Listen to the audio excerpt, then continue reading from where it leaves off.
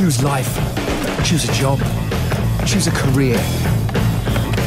Choose a family.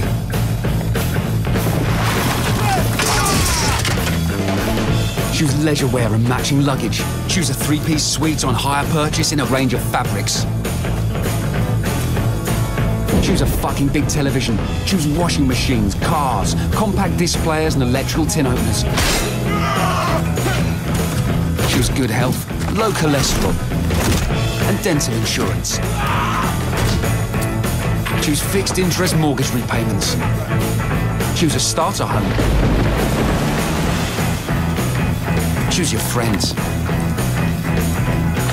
Choose DIY and wondering who the fuck you are on a Sunday morning. Choose sitting on that couch, watching mind-numbing, spirit-crushing game shows, stuffing fucking junk food into your mouth.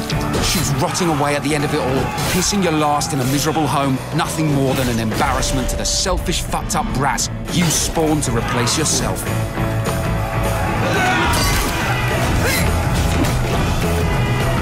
Choose your future. Choose life.